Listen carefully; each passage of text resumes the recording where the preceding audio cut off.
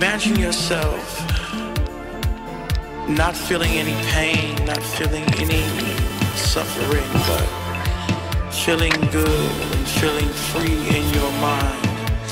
Imagine yourself floating in the air with your arms out like an eagle and you're flying around.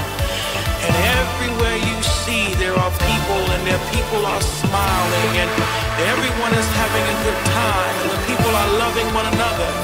sharing with one another. Imagine a world where there's only peace, where there's no anger, where there's no hate, where there's no war.